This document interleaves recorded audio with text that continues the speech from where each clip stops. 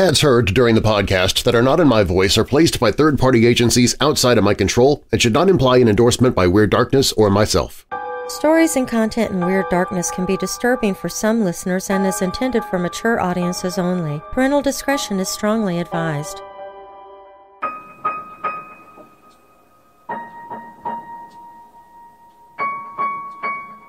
In the 1968 film Rosemary's Baby, a failing actor agrees to give up his wife's womb to Satan so he can have a taste of fame. When it was released to America, it was an instant hit, but there has long been a rumor that the satanic overtones of the film imbued the picture with a curse that the cast and crew suffered from the moment the film went into production. The Rosemary's Baby movie curse has allegedly afflicted everyone involved, with the film's director and producer receiving the brunt of the bad luck. There were plenty of bad things that happened during the filming of Rosemary's Baby, but the curse claimed most of its targets shortly after the film went to theaters. Rumors of cursed movie sets have been a norm in Hollywood since the Golden Age, but they've rarely amounted to anything more than, well, rumors. However, the sheer amount of Rosemary's Baby filming tragedies gives credence to the idea that there was actually a curse unlocked during filming of one of the most satanic movies in Hollywood history. I'm Darren Marlar, and this is Weird Darkness.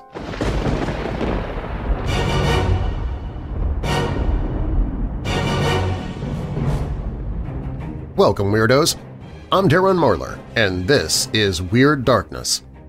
Here you'll find stories of the paranormal, supernatural, legends, lore, crime, conspiracy, mysterious, macabre, unsolved, and unexplained. If you're new here, welcome to the show, and if you're already a member of this weirdo family, please take a moment and invite someone else to listen. Recommending Weird Darkness to others helps make it possible for me to keep doing the show. And while you're listening, be sure to check out WeirdDarkness.com, where you can find me on Facebook, Twitter, Instagram, Minds, MeWe, and more, along with the Weird Darkness Weirdos Facebook group. Coming up in this episode, the movie The Sixth Sense has become a worldwide meme with the phrase, I see dead people. But for one family in Britain, it's not a joking matter. Barbara and Patricia Grimes were murdered in 1956, but new clues have raised hopes the killer might still be caught. In space, no one can hear you scream.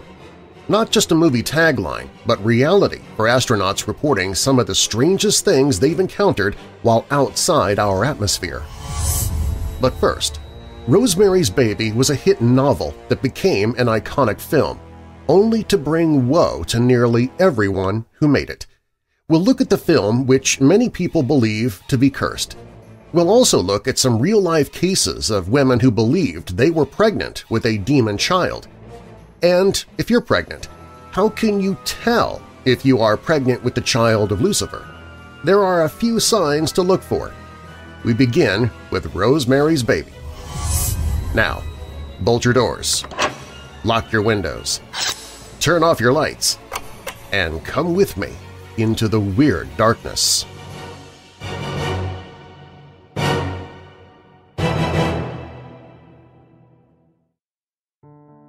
In 1967, Ira Levin was already, by most anyone's standards, a very, very successful writer. At the age of 21, he had sold two TV scripts to NBC.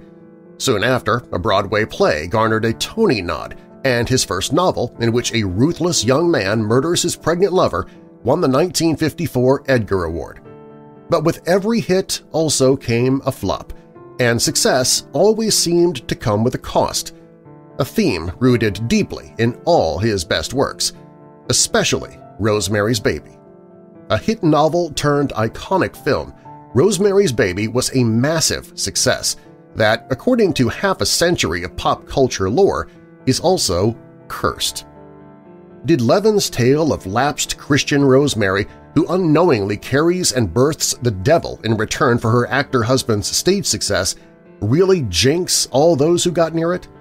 And if so, why did Levin himself stay so seemingly unscathed? Like all good scary stories, this one starts out very ordinary.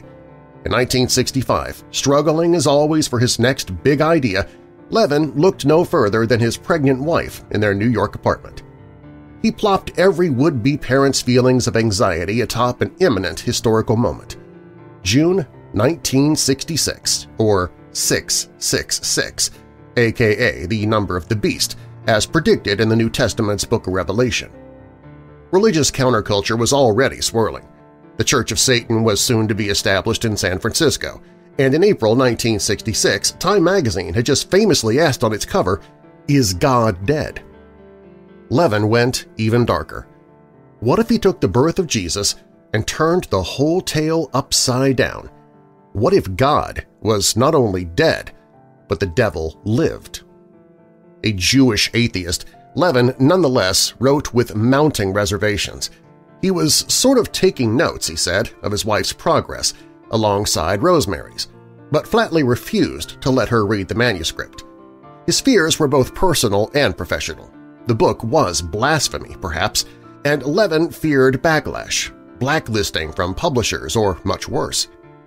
Rosemary's Baby was instead immediately declared perfect, the best horror novel ever crafted, a modern masterpiece.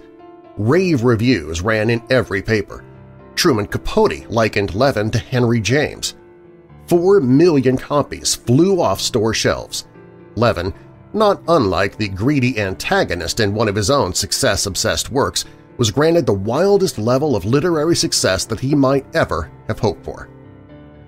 A year later, the success only continued with The Movie, directed by Roman Polanski, a European auteur looking for his own big Hollywood break. More impeccable reviews. Roger Ebert wrote Polanski outdoes Hitchcock. Liz Smith in Cosmopolitan called it sheer perfection. Variety praised just about everyone involved. Polanski had triumphed. Star Mia Farrow was outstanding. Composer Christoph Komeda's score was top-notch, and producer William Castle had crossed an artistic Rubicon. Soon after, the curse began. The first unlucky soul was Komeda. Details of his death are still scarce even today, but Polanski told it this way. In autumn of 1968, then 37-year-old Komeda was roughhousing at a party when he fell off a rocky escarpment and into a four-month coma, the very same affliction Levin's witches used to kill Rosemary's suspicious friend in the book.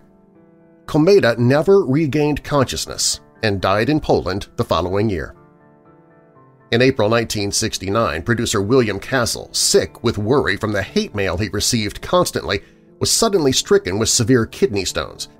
While delirious in the hospital, he hallucinated scenes from the film and was said to have yelled, "'Rosemary, for God's sake, drop the knife!'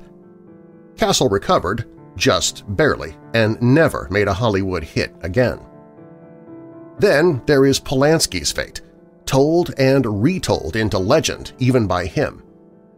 Polanski had relocated to California alongside his new girlfriend, actress Sharon Tate, who was fresh off her first movie role as a witch in Eye of the Devil just before filming began on Rosemary's Baby.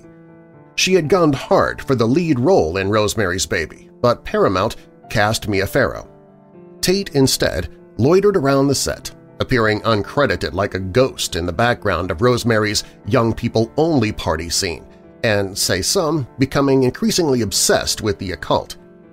Many years later, a friend quoted her in print as having said, "'The devil is beautiful. Most people think he's ugly, but he's not.'"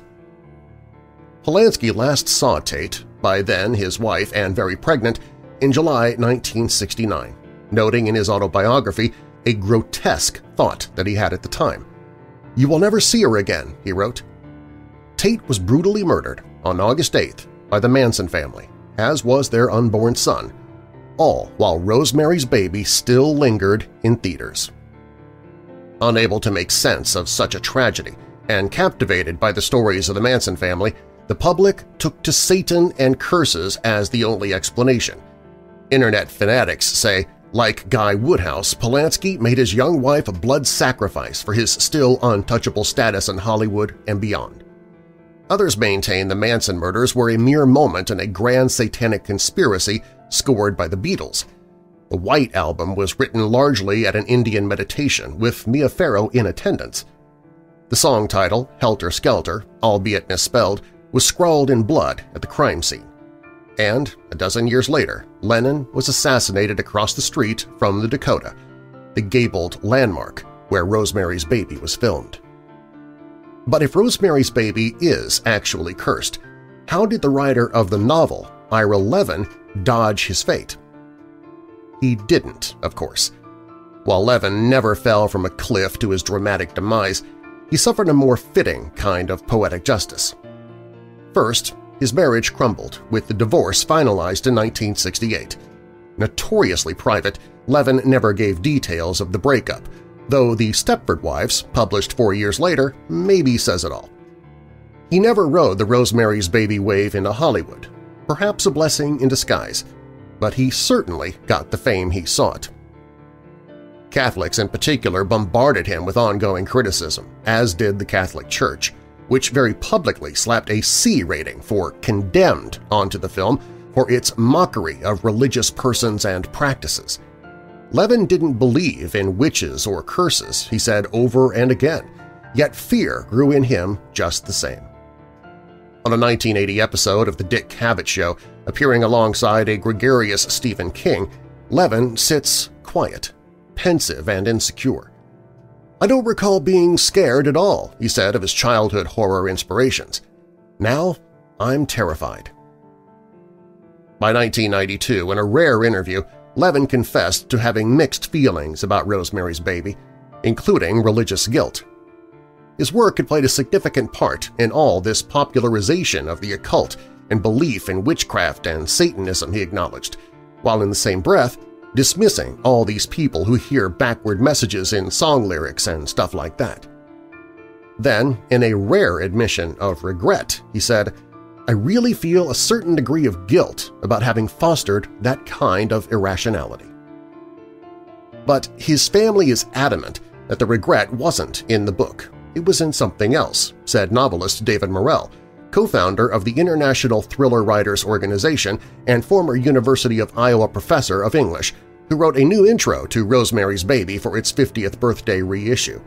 After decades of endless copycats and spin-offs and made-for-TV movies that made the book feel like a campy caricature, Levin grew seemingly disdainful of his defining work. He wrote less and to less acclaim, rarely did interviews, and stopped mingling among the New York literary circles he once so desperately wanted to be a part of. If Levin ever really experienced or enjoyed his literary fame, he didn't say so. I never once heard him comment on his career or what had happened, said Morrell. I'm just intuiting that he had to know he was a success, but I'm not sure he did. Instead, when Rosemary's Baby's last big anniversary rolled around, Levin phoned in a poorly planned sequel, Son of Rosemary, which was widely panned and quickly forgotten. Yet it became a bestseller just the same, funding Levin's last decade until his death in 2007 and becoming a sort of cruel ongoing joke about the fleeting and arbitrary nature of success. Of course I didn't send back any of the royalty checks, he deadpanned, poking fun at himself as a sellout and fraud. Was one of those jokes that's half true, and it was the last book he ever wrote.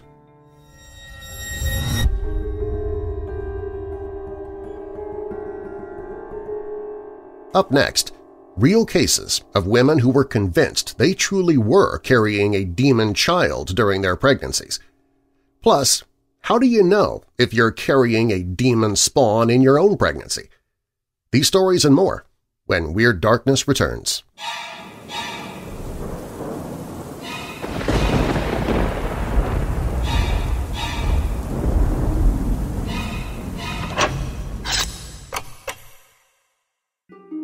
Nothing goes better with chocolate than vanilla, and nothing goes better with the darkness than vampires. So we've combined all of them into a new blend of weird dark roast coffee called Very Vampilla. This bloody good blend combines a medium dark roast coffee with hints of chocolate, vanilla, and just a tad bit of dried cherry, too. So good, you'll want to sink your fangs into the fresh roasted bag itself. Weird Dark Roast Very Vampilla, the only thing at stake – sorry, not sorry, bad pun – is your dissatisfaction with your old coffee. Sip it while the sun is down if you're one of the undead, or when the sun is up if you just feel dead and need a bit of a boost. Get your Weird Dark Roast Very Vampilla at WeirdDarkness.com slash coffee. That's WeirdDarkness.com slash coffee.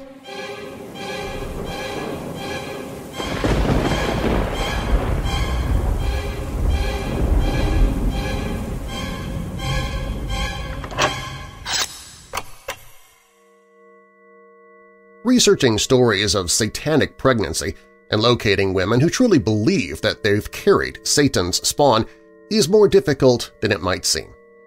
The world will always welcome kaleidoscope-eyed acolytes in peasant smocks and Manson-following concubines with swastikas carved into their foreheads, it's true. But bearers of the Antichrist don't always get so lucky. Some in real-life Rosemary Woodhouses hail from the colonial era when Satan was basically a household name. Some come from present-day tribes stuck seven centuries back in the time continuum, while others are just goths in love with the smoldering, tormented glamour of the Dark Lord. But all claim to have or have had one thing in common – a womb that has played host to a cloven, mauling, fanged little bundle of joy. In the summer of 2009, San Antonio police stumbled in on a scene that was so gruesome investigators could barely speak. Physician Patrick McNamara, writing in Spirit Possession and Exorcism, History, Psychology, and Neurobiology, claims that believing that one or one's child is possessed by Satan is all too common in schizophrenics with religious delusions. According to official reports, a three-and-a-half-week-old boy lay in the bedroom of a single-story house three of his tiny toes chewed off, his face torn away, his head severed, and his brains ripped out. Officers found the boy's mother, Otty Sanchez, sitting on a couch with a self-inflicted wound to her chest and her throat partially slashed, screaming. She told officers the devil made her do it. Police said psychiatric examiners believed Sanchez suffered from psychosis and was driven to consume her infant, Scotty, as part of a Bacchae-like ritual in which the mother ends and eats her male offspring. According to a 2012 article in the Daily Mail, one of Satan's sons is alive and well in Colombia. At a mere four weeks old, the demon child, who had apparently not been named, could already walk by himself and produce fire, or so his aghast mother, Anne Faria Santos, says. She also attests that her son frequently hides around the house, cackles in an adult way for hours on end, and has an intimidating pair of eyes. The article claims that Santos's neighbors, in fear for their lives, have begun pelting the residents with stones, but area lawyers, social workers, and psychologists aren't so sure, and sources say that the mother is being investigated for possible child abuse. The same thing happened to Naomi Watts in The Ring 2 when her son got possessed. In 2016, a 28-year-old Utah mother, Suzanne Connors, made headlines when she gave birth to a screeching entity whom she just as promptly made the sign of the crossover and cast out. Connors said that her pregnancy felt like being cut with razors from the inside, claimed that she decided on adoption because she wanted no part in raising the Antichrist. Reports state that doctors apparently opted for a C-section and found Connors' uterus and amniotic sac completely ripped to shreds. One may assume that the infant was scuttled off, it's alive style, but the babe was then taken to a nearby pediatric hospital for evaluation. Superstitions and phobias about demons and witches are legion, but some people don't hesitate to take them to disturbingly literal levels. Such was the case with 21-year-old Rashida Chowdhury, who in August 2015 tossed her newborn son out of the fourth-story window of her apartment in Queens because she believed he was possessed by an evil spirit. Chowdhury's apparently non-interventionist family confirmed that she had indeed been actively harboring a belief that her child was possessed.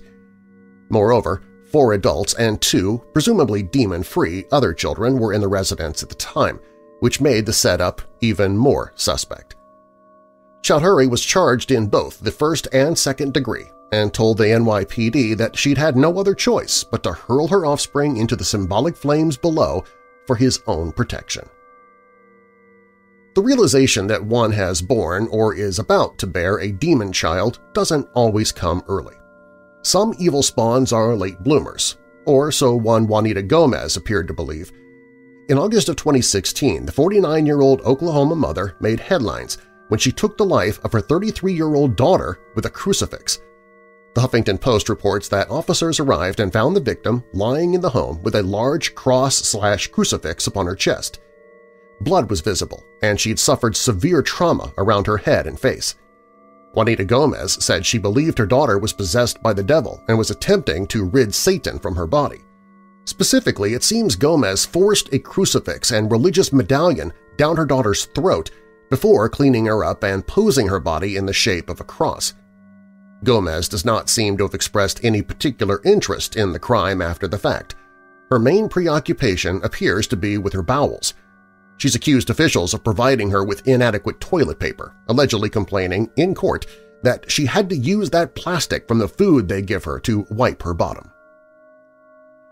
Another progeny of Satan, but can there be more than one divine inheritor at a time, had the honor of gestating in the womb of a certain Isabella Miroslov of Texas. According to 2014 reports, the encounter came while the avowed Satanist was saying her bedtime chants. All of a sudden, the Dark Lord appeared in the room, ordered her to undress, and then bred her. Miroslav's plans to name the child after his father may seem predictable enough, but there are some inconsistencies in her report that are more troubling. She maintains that her son is supposed to become president at the age of 12 and create a one-world government to later combat the coming of Jesus Christ. Horned, taloned, bat-winged, and snarling, the New Jersey Devil is as American as apple pie. However, his mother, Deborah Leeds, was a Brit. According to historical reports, she and her husband, Japhet, lived in the Pine Barrens of New Jersey in the early to mid-1700s. They had 12 children, and by the time the 13th was conceived in 1735, Deborah Leeds, who by then was past what most people would consider reasonable childbearing age, was in no mood to give birth to it. Some accounts even have her declaring, may it be a devil, when she learned of her unwelcome condition. There are multiple versions of what happened on the night of the birth.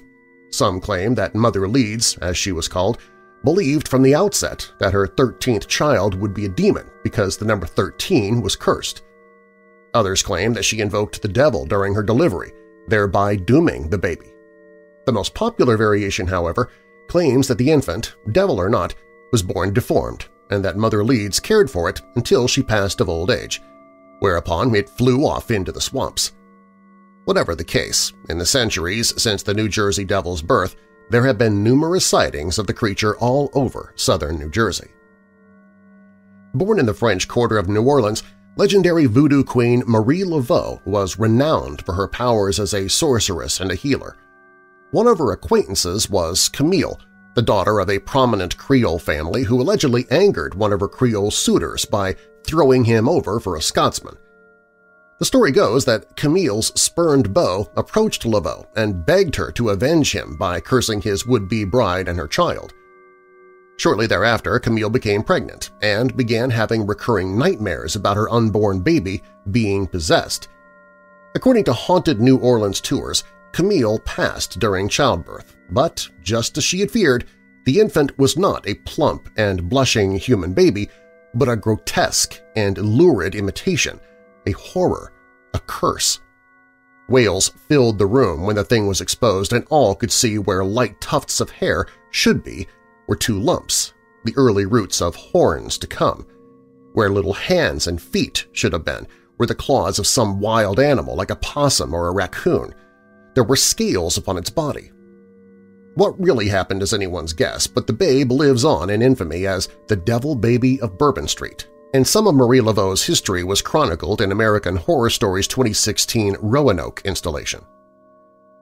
Mother Superior Jeanne des Anges, also known as Joan of the Angels, is famous for having been seduced and impregnated by a demon masquerading as a priest, masquerading as an angel.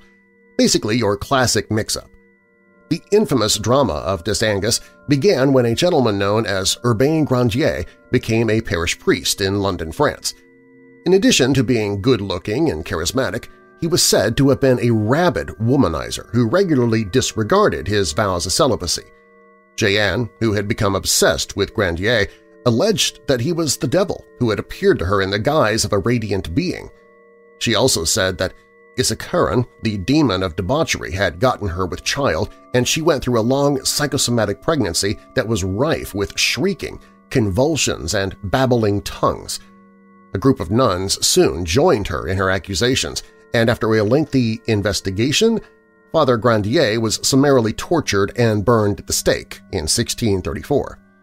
Jeanne, who never did bear her demon child, lived more or less piously ever after, and the whole debacle was the subject of two films, Ken Russell's The Devils in 1971 and Jerzy Kawalerowicz's Mother Joan of the Angels in 1961. Jane Addams was an influential figure in Chicago in the late 1800s and early 1900s. She opened up the historic Hull House, a communal gathering place for impoverished immigrants to embrace their shared community and a place for single working women to stay and find safety from the slums. The story postulates that one day three working Italian women burst through the doors of Hull House and demanded to see the devil baby. Apparently the baby had cloven hooves, pointed ears, and was able to articulate even though it was an infant. It was also apparently fond of profane language and would curse those that came to visit it. According to Addams, the people attributed her infant to the devil because Addams was allegedly sinful in the child's conception.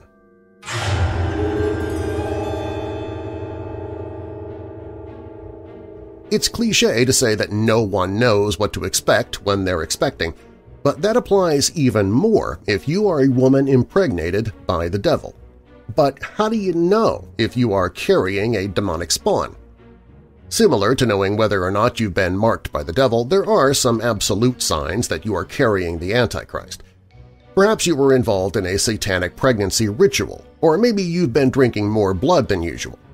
Whatever the case, there are numerous signs Satan is near, and all you need to do is to learn which of them are real and which are coincidence. Pledge your eternal allegiance to Weird Darkness and keep listening. Satan is a tricksy lad, as signs of his temptation and meddling are never obvious, and the ones that are will likely have you sent to an insane asylum if you tell anybody. But once you're carrying the child of Satan, your life isn't as without options as it might seem. Every child needs a mother, even if its father is an ageless evil who has chosen to spend an eternity cackling in his personal fire pit, so you could always do your best to be the monstrosity's mother. Or you could give the child up for adoption. There's no rule saying you have to be the mother of the Antichrist. If any of these signs that you've been impregnated by Satan apply to you, remember to consult a physician or a trusted coven of witches before you make any rash decisions. Chances are you're probably just pregnant with a regular human child. A telltale sign of fostering Satan's unborn child in your womb is the appearance of claw marks or deep gouges across your skin when you wake up in the morning. These won't be your run-of-the-mill scratches that you find the morning after a round of suitably rough intercourse. These scratches will be deeper than the average fingernail marks, and they will likely be in a more animalistic shape than you're used to. If the claw marks have left any symbols across your body like pentagrams, pyramids, ominous squiggles, then you definitely have a demon baby hiding in your body. Odd cravings, of course, are natural when you're pregnant, but one particular craving that you should worry about is the desire to feast upon raw meat. There's simply something you need to satisfy your cravings, whether you're noshing on a bloody steak or a tube of raw beef.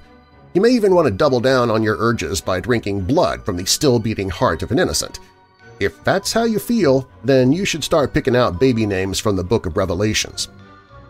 As soon as you discovered that you were pregnant, did people begin referring to your appearance as wan or hollow? Do you have a jaundiced look to your eyes when there was once a bright light full of hope? Most women report a glow that takes over their body once they're with child. However, those that have been impregnated by a demon, incubus, or Satan himself have been known to take on the look of someone whose very life is being drained from their body. Was it only a week ago that you had amazing intercourse with a handsome stranger who may or may not have had goat eyes, and now you've got a six-month baby bump?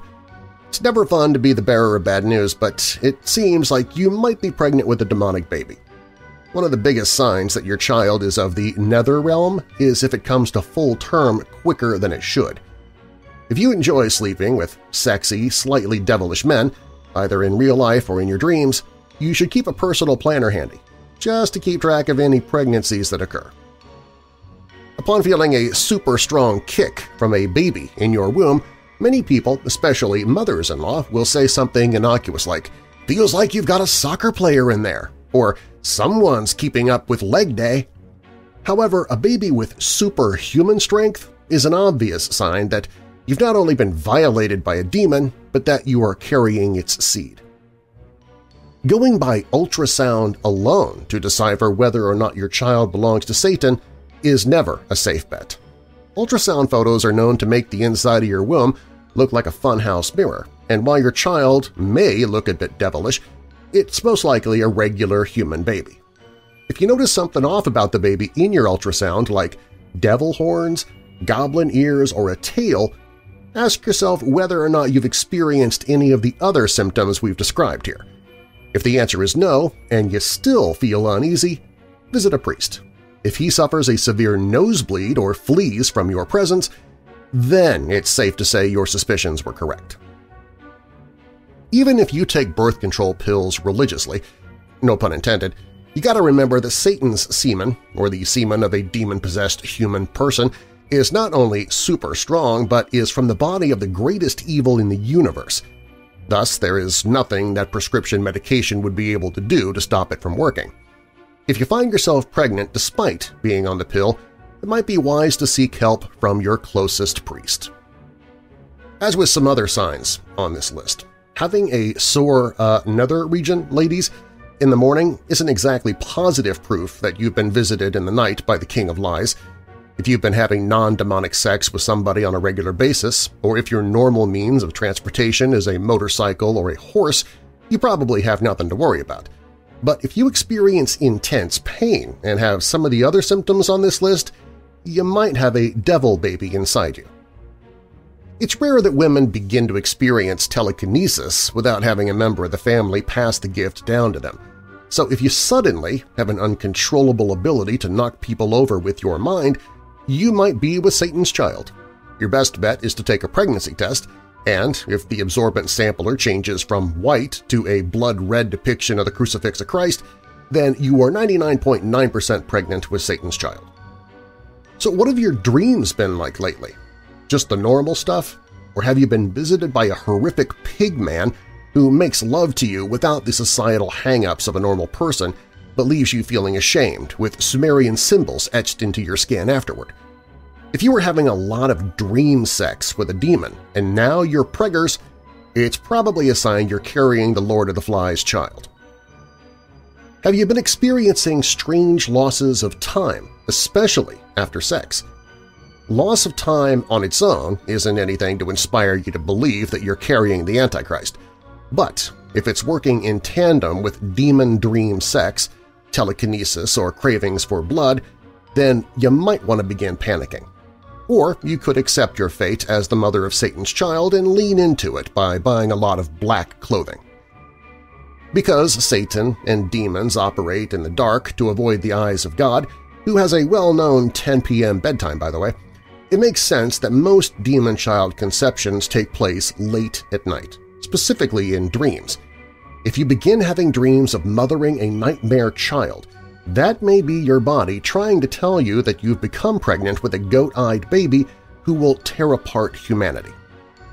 And if you found yourself to be in the middle of a satanic ritual, willingly or unwillingly, where you may or may not have had intercourse with Satan, a personification of Satan, a lesser demon, or maybe even a possessed regular guy wearing a cloak, then you're probably pregnant with a devil baby. How involved you want to be in this baby's life, well, that's up to you.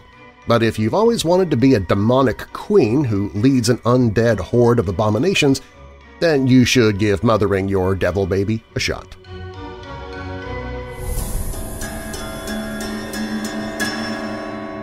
When Weird Darkness returns, in space, no one can hear you scream. It's not just a movie tagline, it's reality for astronauts reporting some of the strangest things they've encountered while outside our atmosphere. But first, the movie The Sixth Sense has become a worldwide meme with that phrase, I see dead people. But for one family in Britain, it is not a joking matter. That story is up next.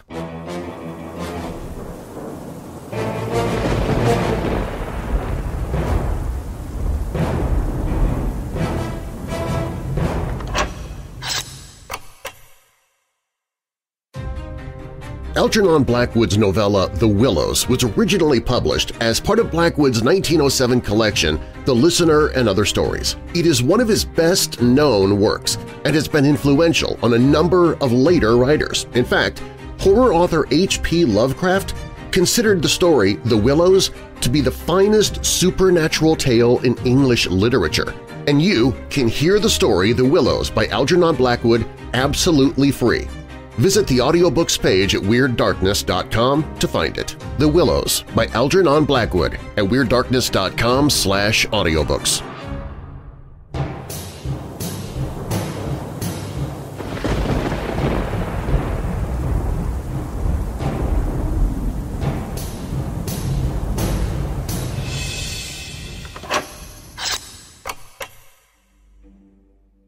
Trembling with fear, 10-year-old Faye Jackson darted out of her bedroom and down the stairs to her mom.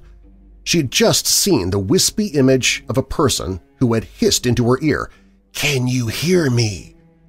It was the first of hundreds of ghost sightings that would plague the young girl and lead her to believe she may have psychic powers.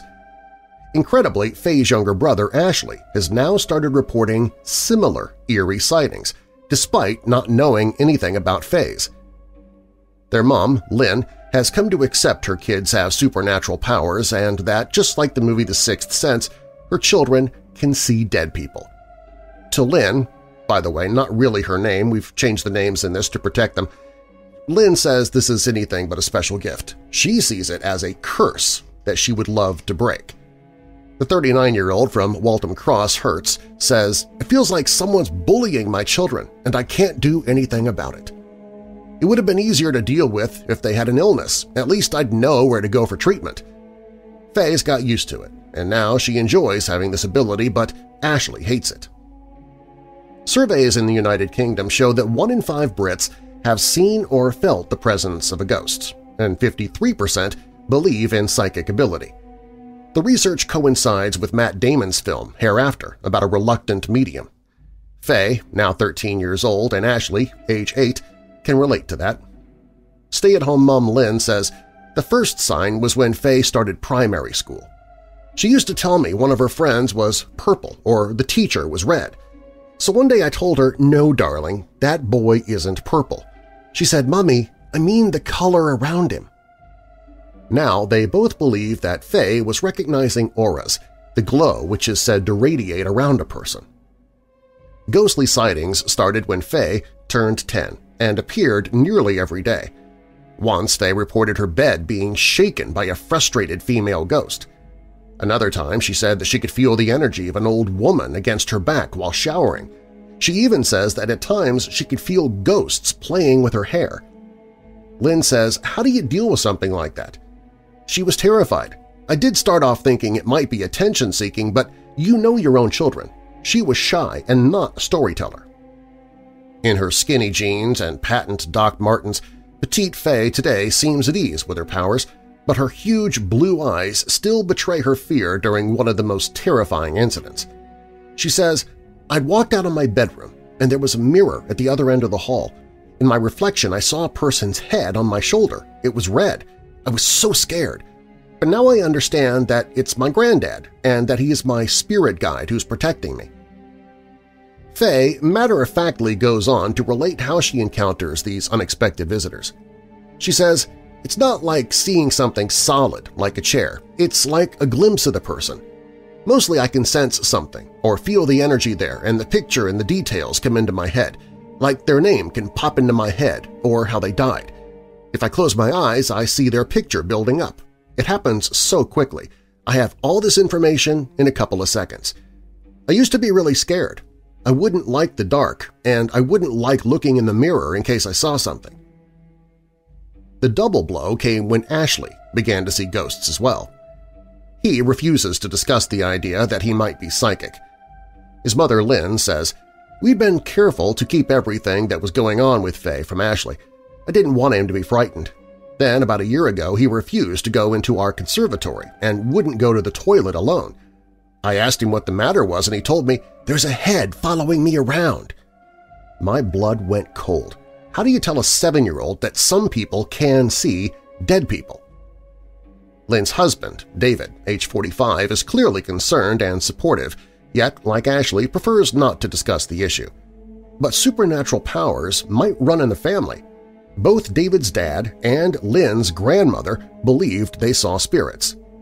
Lynn says, Faye has tried to tell Ashley it's okay and happens to her, but he doesn't believe her. She's intrigued by it now, but he hates it and is terrified. Through talking to other mediums, Faye has learned to cope with the sightings, but Ashley is very much in denial. Instead, a friend who does distant healing called Theta Healing has focused on Ashley, asking that he doesn't see anything frightening. Lynn believes this has reduced the sightings but says he still has what he calls bad thoughts. Faye, who has learned to channel her ability into learning Reiki healing, says, I can close down my chakras, points in the body from the head to the feet. You do it by thinking of those points as light bulbs, and you shut them off so you're closed to the spirits. I can also ask them to go away, and I can imagine a white light around me to protect myself. When it first started, I was seeing spirits every day, but now it isn't as often.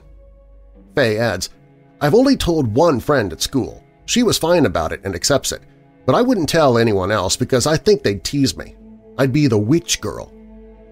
Lynn and Faye plan to write a book together on their experiences. They've also launched Facebook group Children with Spirit. Lynn says, One of my issues is that there's no real help out there for people like us. Talking to other psychic children has really helped Faye, so hopefully it can help others too.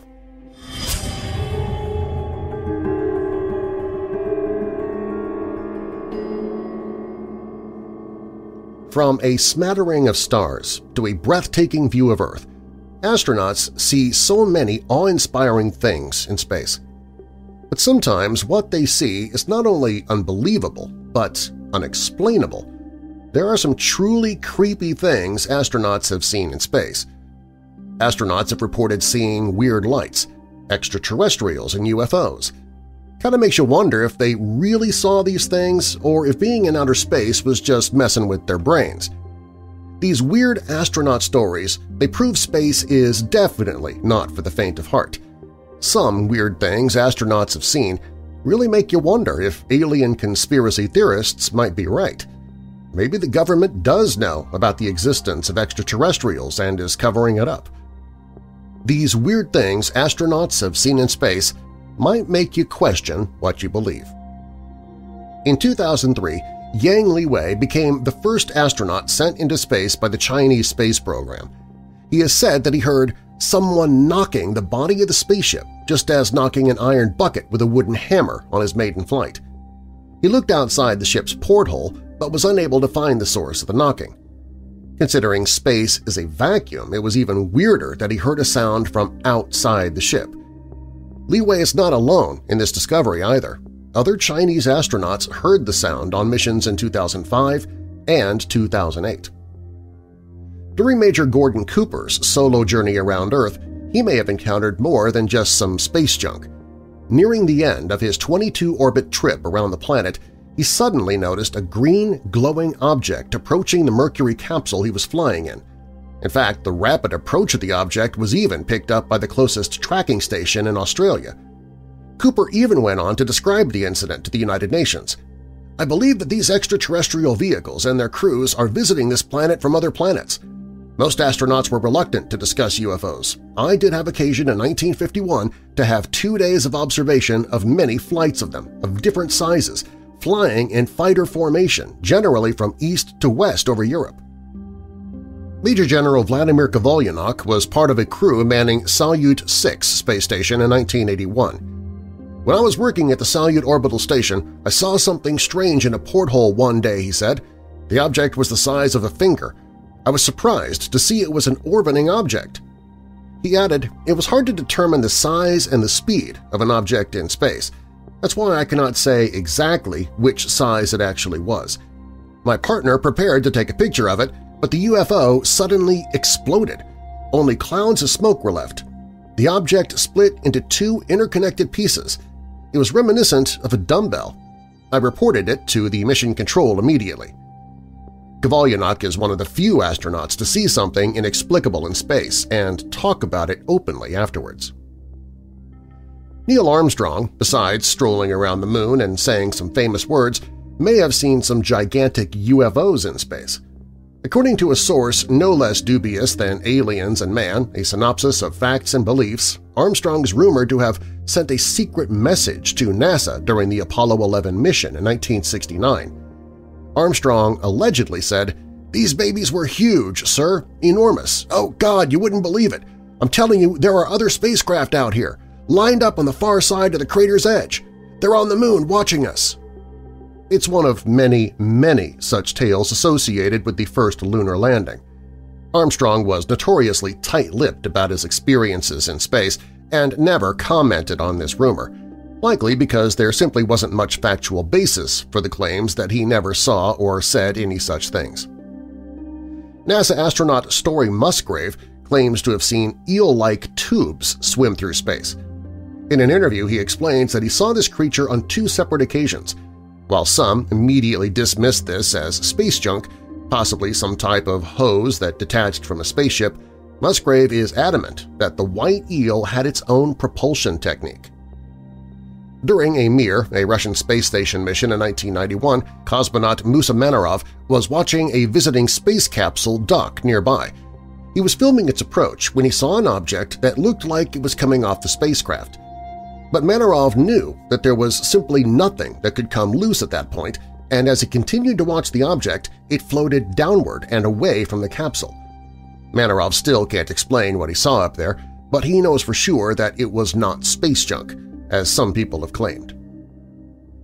Leroy Chiao commanded the International Space Station in 2005. While on a spacewalk, Chiao saw white lights aligned in an upside-down check formation whiz right past him. Some people have posited that a string of fishing boats along the South American coast could explain what he saw, but Chiao was 230 miles above Earth when this happened. Those would have to be some seriously strong boat spotlights to be seen from all the way up there. Chiao told the Huffington Post, I'm skeptical of claims that we've been visited by aliens from another planet or other dimension, but I don't rule it out 100%. From 2009 to 2012, astronauts lit things on fire in space, not because they were all pyromaniacs, but because they wanted to know how fire would behave in the cosmos. They discovered that fire burns at a lower temperature and with less oxygen and can also burn without a flame in microgravity. Forman Williams, the project leader on the experiments, told Space.com, Thus far, the most surprising thing we've observed is continued apparent burning of heptane droplets after flame extinction under certain conditions. Currently, this is entirely unexplained. Richard C. Hoagland, a proponent of alternative space theories, believes Alan Bean saw glass domes from a long-existent alien civilization on the Moon. In an interview, Bean described space as looking like black patent leather shoes from the surface of the moon. Hoagland maintained space should be velvet black. It should be inky black. It should be infinity, unending, deep, endless black. It shouldn't be shiny. The only explanation for Bean's description, Hoagland concluded, was that he was seeing space through the reflection of a glass dome. During the Apollo 11 mission, astronauts reported seeing light flashes in their eyes, the crews of Apollo 12 and Apollo 13 were warned about this and reported they also saw strange bursts of light even when their eyes were closed. Experiments were conducted on the next four Apollo missions to try and figure out what was causing these weird visions. NASA determined that the astronauts were seeing cosmic rays. We don't see cosmic rays here on Earth because they're absorbed by our atmosphere, but without that barrier in space, astronauts were seeing something no one had ever seen before. While on the Gemini 4 mission in 1965, astronaut James McDivitt thought he saw a UFO. In an interview with NASA, McDivitt explained, I looked outside, just glanced up, and there was something out there. It had a geometrical shape similar to a beer can or a pop can, and while a little thing like maybe like a pencil or something sticking out of it. That relative size dimensionally, it was all white. The press got a hold of the story and ran with it, claiming McDivitt had seen a UFO. It wasn't until years later, after reviewing a photograph that he had never seen before, that McDivitt realized what it was – a reflection of some bolts in the window glass. He said, I went back and then I saw what the thing was. And really what it was was a reflection of the bolts in the windows. The windows were made up of about three or four or five panes of glass, so that if one got broken we still had some pressure integrity. And these little things, when the sun shined on them right, they'd multiply the images off the different panes. And I'm quite sure that that's what this thing was. Or maybe that's just what NASA told him to say. In 2013, while astronaut Christopher Cassidy was aboard the International Space Station, he saw a mysterious object floating by his window. Cassidy contacted Mission Control to report the sighting. NASA identified it as an antenna cover from Russia's Zvezda service module, but conspiracy theorists remain convinced that the object was something extraterrestrial. John Glenn, who flew on the Friendship 7 spacecraft in February 1962, suddenly noticed something strange outside his window while in orbit. He immediately reported to NASA what he was watching, and it looked like a group of little glowing fireflies dancing outside his window. However, it would take a perplexed Glenn and worried NASA nearly a year to figure out what these little fireflies really were. At first, NASA was concerned that perhaps these glowing dots were flecks of metal coming off a malfunctioning piece of equipment. However, they later realized during another flight that these specks were actually frozen droplets of condensation that were shifting and cracking as the spaceship traveled. In 2014, European Space Agency astronaut Samantha Cristoforetti was on her way to the International Space Station for the first time when she saw the normally gray ISS was bathed in orange light. It was the sun reflecting off the solar panels and onto the space station, something only a handful of astronauts had ever seen. Cristoforetti was taken aback by the beauty of what she was seeing. In a blog post she wrote, the enormous solar panels were inundated with a blaze of orange light, vivid, warm, almost alien. Conspiracy theorists hooked on to those words, almost alien. They began speculating that the solar panel reflection was a cover story, and she had, in fact, seen a UFO. Barbara and Patricia Grimes were murdered in 1956, but new clues have raised hopes the killer might still be caught. That story's up next on Weird Darkness.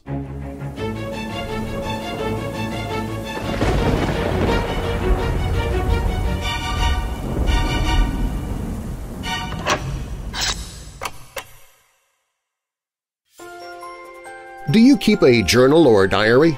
If not, maybe you should consider it. It's been shown that journaling can help you reduce stress, help relieve depression, builds self-confidence, it boosts your emotional intelligence, helps with achieving goals, inspires creativity, and more. In fact, my friend S. Ann Lanise has created a Weird Darkness-themed journal just for you, full of blank pages for you to use as a diary, make notes for class or office meetings, Jot down ideas for that novel you want to write. Use it for keeping a mileage log if you travel for business, whatever you want. In fact, she has numerous styles of journals to choose from. Along with the Weird Darkness Journal, there's one for dealing with grief, for teacher's notes, for medical residencies, keeping track of your meds or health routine, and several others. Journals make a great gift for others, but it's also a great gift for yourself and your own mental health. No matter what you might want a journal for, my friend Anne has it, and you can see all of her journals, including the one for Weird Darkness, on the Sponsors and Friends page at WeirdDarkness.com.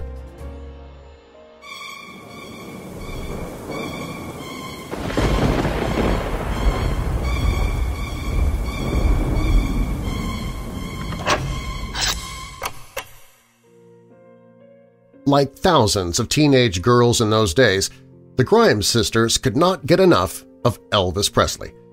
They had seen his latest hit, Love Me Tender, 14 times. On December 17, 1956, they headed to Chicago's Brighton Theater to see it again. Barbara was 15. Patricia was 13. They left the house at 7.30 p.m. Their mother, Loretta Grimes, expected the girls might stay for the double feature. But when midnight arrived and her girls still hadn't come home, she began to worry. Two of the older Grimes siblings headed to the bus stop to wait for their sisters. By 2 a.m., it was clear something had happened. A search was quickly assembled. Dorothy Weinert, a friend of Patricia's, had also been in the theater and sat behind the sisters. Though Dorothy left after the first film, she mentioned having seen Barbara and Patricia at the concession stand, seemingly in good spirits. One of the largest citywide hunts in Chicago history followed. Police officers and regular civilians combed the streets looking for the sisters. Adjacent towns and counties got involved and offered their resources to the cause. But as the days passed, the search stalled and law enforcement grew desperate to solve the case. Then random sightings of the missing sisters flooded media outlets.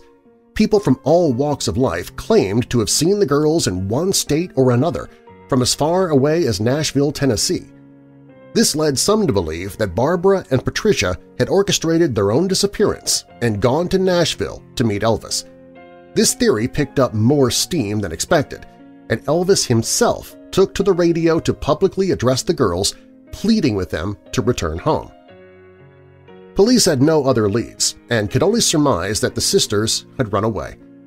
Loretta Grimes vehemently rejected the idea, maintaining that her girls would never do such a thing and that they certainly would not have left behind the brand new AM radio they received for Christmas. After an exhausting month of loose threads and dead ends, the search stalled out. Then on January 22, 1957, a man named Leonard Prescott spotted what he thought were two mannequins on German Church Road in Willow Springs, Illinois. He did not approach them but instead ran home to get his wife. Together, the Prescotts inched closer and closer and found the naked bodies of Barbara and Patricia Grimes, positioned awkwardly, with Barbara lying face down, Patricia lying face up on top of her sister. Their faces had been damaged by neighborhood animals. At 1.30 p.m., the Willow Springs Police Department learned of the discovery. They immediately deduced that the sisters had probably been on the side of the road since the snowfall two weeks prior. Flurries of suspects were apprehended, the most publicized of which was Edward Lee Bedwell, he confessed to the murders, though there was never any evidence supporting his claim, and then he later recanted it. An autopsy on the girls, which could not be performed until they were thawed, revealed that the last meal they'd eaten was the dinner before leaving for the movie theater. Such findings proved the Grimes sisters were killed within hours of going missing. Though the official cause of death was listed as murder, the only explanation offered was secondary shock due to exposure to the elements. The funeral was held on January 28, 1957 at St. Maurice Church. Loretta Grimes was inconsolable.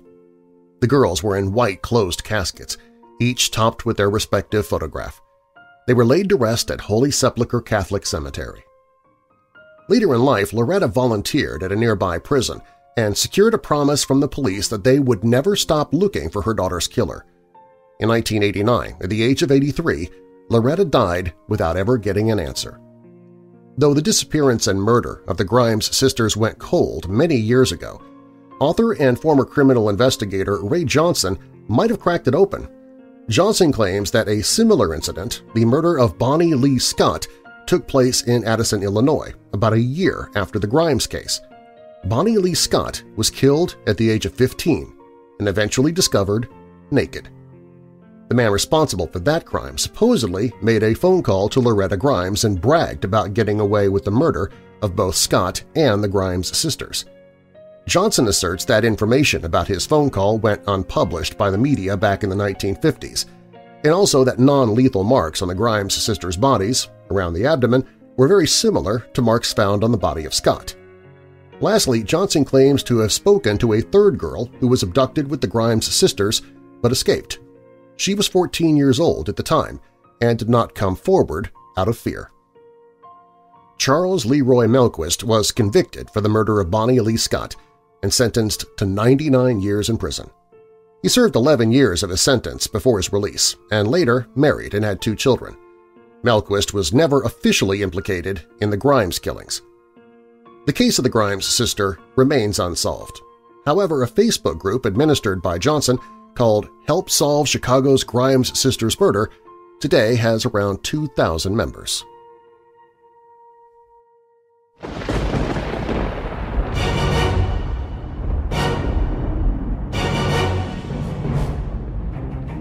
Thanks for listening. If you like the show, please share it with someone you know who loves the paranormal or strange stories, true crime, monsters, or unsolved mysteries like you do. You can email me anytime with your questions or comments at darren at WeirdDarkness.com. And you can find me on Facebook, Twitter, Instagram, and the show's Weirdos Facebook group on the Contact Social page at WeirdDarkness.com. Also on the website, if you have a true paranormal or creepy tale to tell, click on Tell Your Story all stories in Weird Darkness are purported to be true unless stated otherwise, and you can find source links or links to the authors in the show notes. Real Cases of Rosemary's Baby is by Lisa A. Flowers for Ranker's True Stories. The cursed film Rosemary's Baby is by Rosemary Counter for Vanity Fair. Am I Pregnant with a Demon Spawn is by Jacob Shelton for Graveyard Shift. My Children See Dead People is by Kate Jackson for The Sun. The Unsolved Murder of the Grimes Sisters is by Gary Sweeney for TheLineup.com, and Space Cases is by John Lemelman for Ranker's Space Page. And now that we're coming out of the dark, I'll leave you with a little light. James 1 verse 12 Blessed is the man who perseveres under trial, because when he has stood the test, he will receive the crown of life that God has promised to those who love him. And a final thought, it's an African proverb, if you want to go quickly, go alone. If you want to go far, go together. I'm Darren Marlar. Thanks for joining me in the Weird Darkness.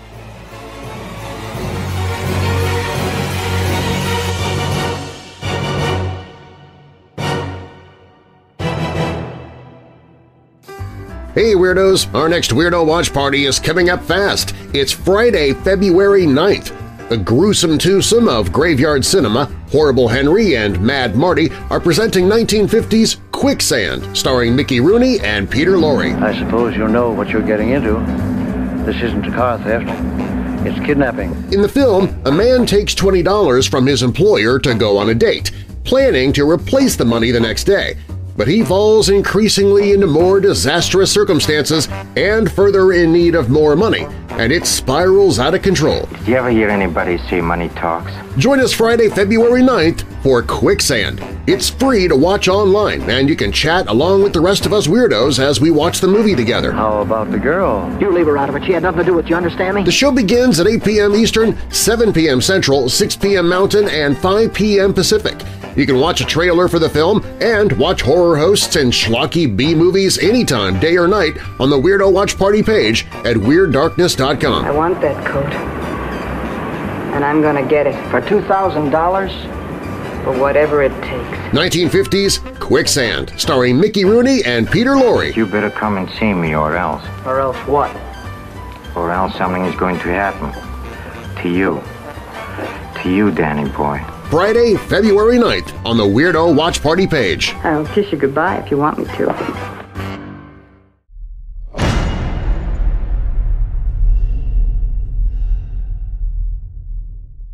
Hey Weirdos! Be sure to click the like button and subscribe to this channel and click the notification bell so you don't miss future videos. I post videos seven days a week. And while you're at it, spread the darkness by sharing this video with someone you know who loves all things strange and macabre. If you want to listen to the podcast, you can find it at WeirdDarkness.com slash listen.